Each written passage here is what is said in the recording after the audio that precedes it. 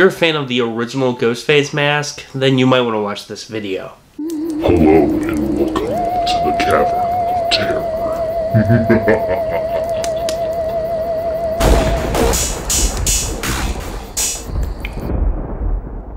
Hey guys and welcome to the Cavern of Terror. As you guys know, I just recently started my Scream series. I just put up my first video yesterday morning.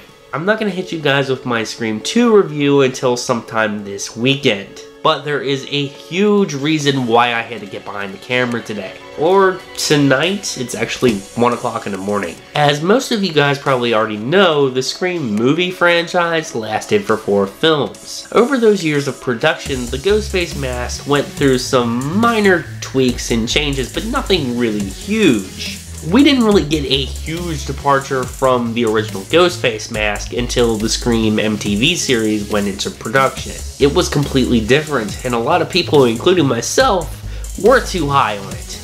It eventually grew on me over time as I watched the first season of the series, but I never really loved it as much as I loved this original mask. But let's get to the news. I found out earlier today that season 3 of the rebooted Scream TV series is going to go back to that OG mask. Thank you.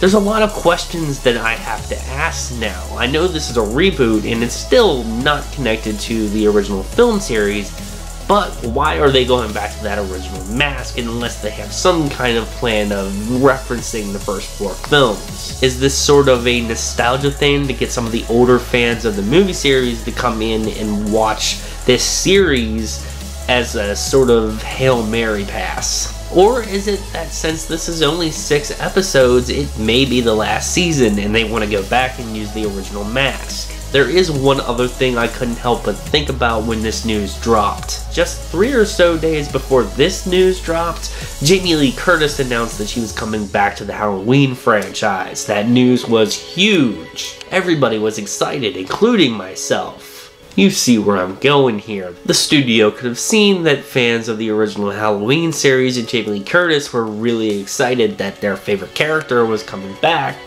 so let's bring back something that fans of our series love, the original Mask. I wouldn't be surprised at this point since they brought back the original Mask that they might bring back one of the original cast members who survived the original four films. It's a long shot, I know, but it could happen. I don't know. we could see anything.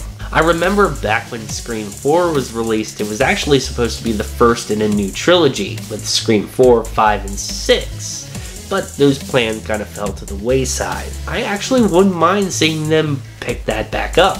Now, if we could only get a Friday the 13th movie off the ground and released. Okay guys, that's the news I had to tell you about. I had to get these thoughts off my mind. The original Ghostface mask is returning for season 3 of Scream. What did you guys think of this news? What are your theories? I want to know. Let me know down in the comments down below. If you're new to my channel and this is your first video, make sure you hit that subscribe button. That way you see all my future content, including my Scream series reviews. I have 2, 3, and 4 coming at you very soon.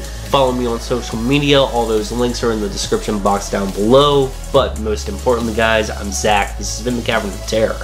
Stay metal, my friends.